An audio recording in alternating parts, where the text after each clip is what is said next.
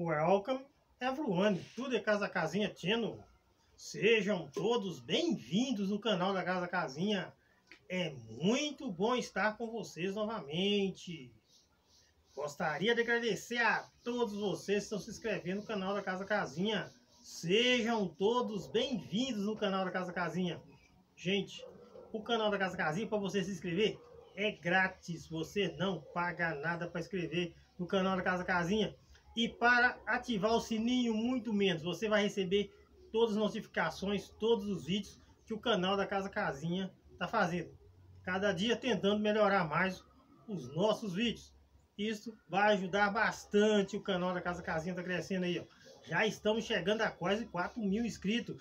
E a sua participação nisso é evidência disso. Que está se inscrevendo. Cada dia o canal da Casa Casinha aparece mais pessoas se inscrevendo aí. Então, não, você não paga nada, você não paga nada para se inscrever no canal da Casa Casinha, gente. É grátis e aperte o sininho aí. Aqueles, né, também, você pode dar seu joinha, pode dar seu comentário aí, né? Muito obrigado a todos vocês que deu o comentário da semana passada aí, tá bom? Muito obrigado a todos vocês. E hoje eu vou estar respondendo a pergunta aqui do Francisco Luciano. Demorei um pouquinho para estar respondendo. Quanto tempo pra samambaia chorona ficar desse jeito aqui, ó. Pra ficar com as folhas grandes, igual essa daqui que tá aqui. Deixa eu mostrar pra vocês aqui, tá vendo aqui? Quanto tempo passa a samambaia chegar a esse tamanho aqui, tá bom? Francisco Luciano, eu já estou aqui com uma samambaia aqui na minha mão. Uma samambaia que eu plantei esse ano, não lembro o mês direito que eu plantei esse ano aqui, ó. Eu plantei ela com... Aqui, deixa eu tirar aqui, desmendar aqui, ó com duas folhas, tá? Essa samambaia aqui, ó, eu plantei ela com duas folhas, tá?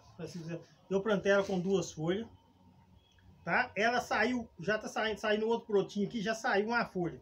Então, aqui, essa samambaia aqui, tem menos de um ano, ela já tá aqui com mais de um metro de comprimento, que essa folha aqui, ó, folha novinha aqui, tá? Tá aqui, ó, uma folha nova, tá saindo dessa daqui. E tá saindo mais um brotinho aqui, que é esse daqui, tá? Tá saindo aqui. Então, essa samambaia aqui já está desse jeito aqui. Agora vamos falar para você quanto tempo vai demorar para a sua samambaia chegar nesse poste aqui, né? Nesse poste aqui. Primeiro, é, Francisco Luciano. Eu, como sempre, vou repetir, né? Aqui, né?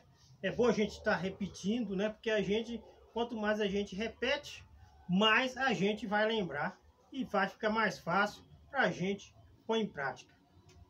Primeiro, você vai precisar, vou falar com você, precisa de um bom substrato para a samambaia chegar desse tamanho aqui, tá bom? Vai precisar de um bom substrato. Agora, qual substrato eu recomendo para vocês aqui? Tem vários substratos, gente, que a gente vai estar encontrando aí no mercado. Ou você mesmo pode estar fazendo esse substrato aqui. Eu, deu certo comigo aqui, é resto de madeira podre, né? É, pilheira e fibra de coco. Também, gente, tem a casca de pinos também, que ajuda bem nesse, nesse processo aqui, ó. Então eu vou estar tá mostrando para vocês aqui, ó. A serrapilheira é essa daqui, ó. Então são restos de matéria orgânica, tá bom? Resto de matéria orgânica que é a serrapilheira. O que que acontece com essa resto de matéria orgânica, a serrapilheira? São aquelas galhos de árvore, gente, a própria árvore. Todo ano, a maioria das árvores dispensa todas as suas folhas. E também dispensa os galhos. Esses galhos vai caindo no chão, vai mutuando ali, nessas matas que ninguém mexe. Aí depois o que acontece? Vai virando uma camada. E essa camada é que a árvore, né? Ou a, a planta produz seu próprio alimento. Que é onde ela pega os nutrientes das suas próprias folhas, né? Que depois que começa a entrar em decomposição. Então, muitas vezes, você vai encontrar em algumas matas serrapilheira assim, uma montanha assim, alta assim, ó tá as folhas secas por cima e por baixo tá aqui a serrapilheira que é melhor. E mata onde as pessoas não mexem e nem que foi queimada recentemente. Porque quando queima né, uma mata, né, queima-se também toda a serrapilheira, tá bom? Então tá ali a serrapilheira, mas primeiro você tem que ter cuidado com cobras, aranha e escorpião.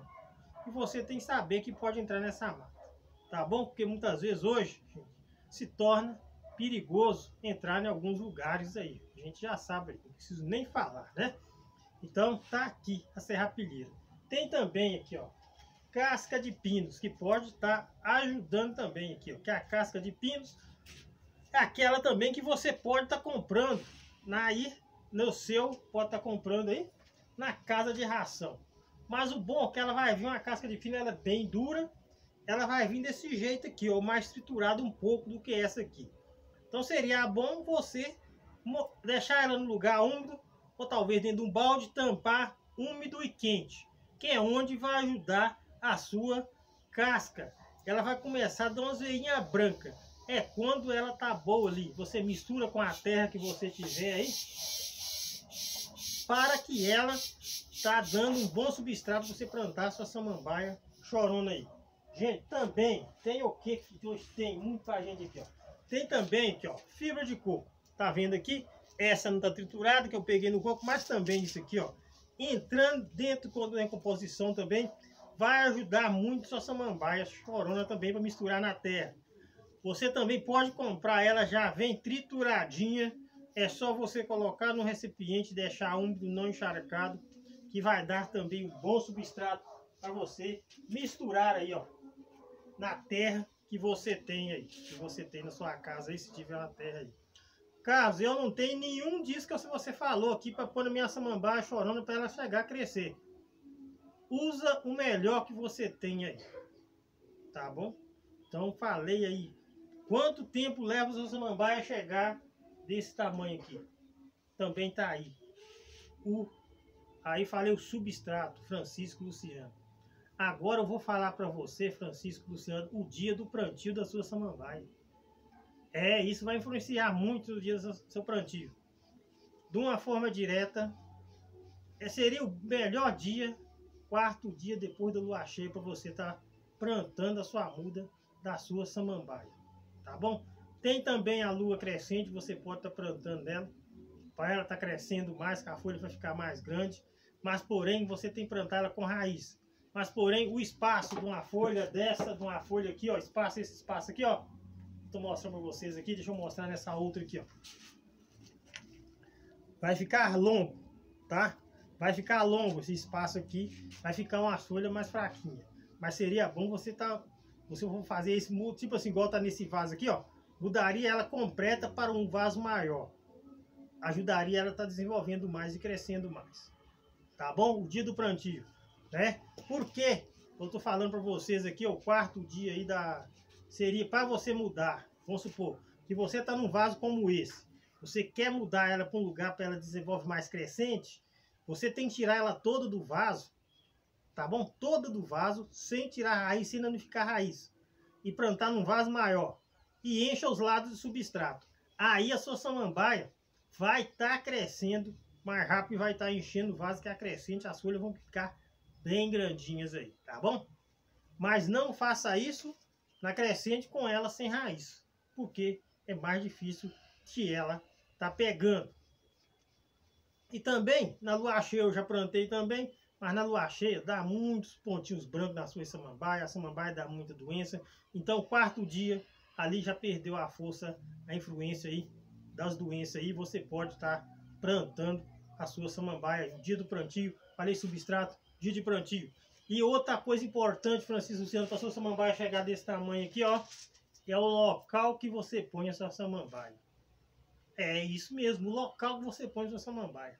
Gente, por quê? A samambaia chorona, elas são densas matas, porém, o sol bate filtrado, gente. Filtrado é porque no meio das árvores o sol bate filtrado lá. Então isso ajuda ela tá desenvolvendo bem, porque a claridade bate por cima.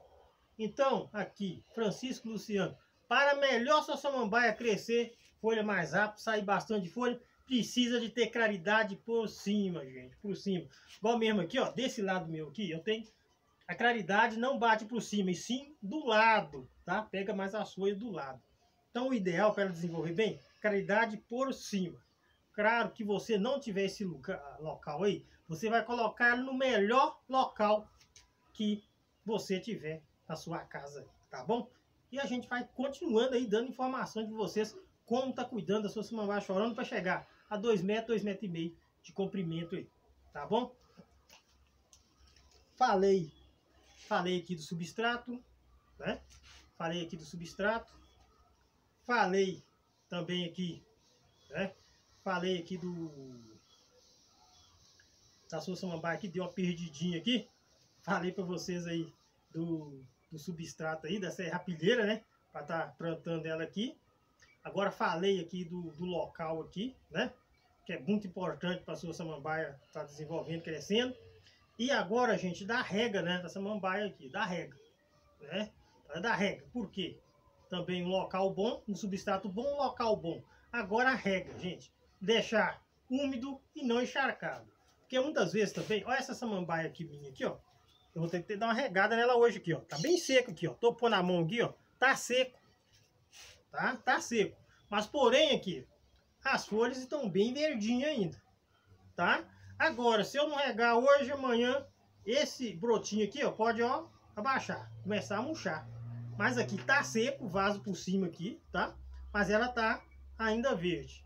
Tá precisando de água. Muitas vezes tá seco aqui, ó. Aqui em cima tá seco, não tá úmido. Mas já está na hora de eu jogar a aguinha. Fica aqui no meu pé de jabuticaba aqui, claridade bate por cima, né? Já está saindo aqui duas, já saiu, vai sair duas folhas novas. As duas das folhas aqui são folhas velhas, que eu plantei com elas, desenvolvendo bem. Então tá aí, deixar úmido e não encharcado. Encharcado, a samambaia muitas vezes, depende do local que você tiver, e vamos supor, se for lugar mais obscuro, você vai regar menos. Se for lugar com mais claridade, você vai regar mais, tá? Então aqui a minha já está precisando de água, tá? Está precisando de água, ainda não murchou, está verdinha ainda, mas já está precisando de água. E também, é, Francisco Luciano, estamos numa onda de calor aqui, não só aqui em Minas Gerais, mas aqui. Então a gente requer mais cuidado, tá bom? Agora, agora vamos aí o finalzinho aqui agora. Quanto tempo vai demorar para a sua samambaia chegar? Que é o que você me perguntou. Então, você vai fazer todos esses processos aí, né? E vai continuando assistindo o canal da Casa Casinha. Cada dia tem uma dica nova. Você se, se dica aí que eu falei local para você estar tá colocando ela, o substrato e a rega aí, como você está regando ela.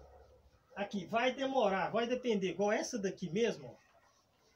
Eu vou supor aqui, ó, essa daqui tem menos de um ano, já está desse jeito aqui, ó. Então varia de planta por planta, Francisco Luciano, e o local que você colocar nela. Você pode ter uma samambaia igual essa daqui mesmo, já está formada desse jeito aqui, ó. Eu apenas tiro muda dela e ela continua formada, vamos dizer, desse mesmo jeito aqui. Eu tiro uma muda, duas mudas, ela continua formada desse jeito aqui.